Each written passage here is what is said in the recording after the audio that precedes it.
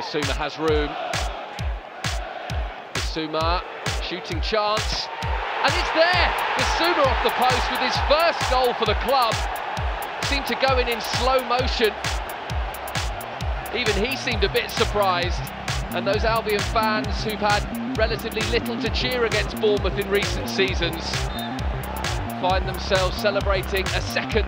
Bissouma, what a good challenge and it falls to him. Bissouma wants to crack it. Oh, and just? Yves Bissouma with his first ever Premier League goal, and it is an absolute cracker.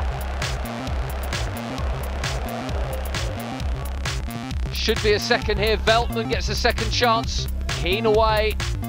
Danger still not averted. Bissouma! What a strike that is! Yves Bissouma pulls one back in the 91st minute. It won't matter to the end result, but Bissouma's scored another stunner. Now Bissouma, Dan Burn a willing runner, but Bissouma checks back onto his right and goes for goal. And oh, a splendid finish from Bissouma. He scuffed a couple looking for that kind of strike, and now he's found it. Albion lead after 26 minutes. It's another screamer from Bissouma.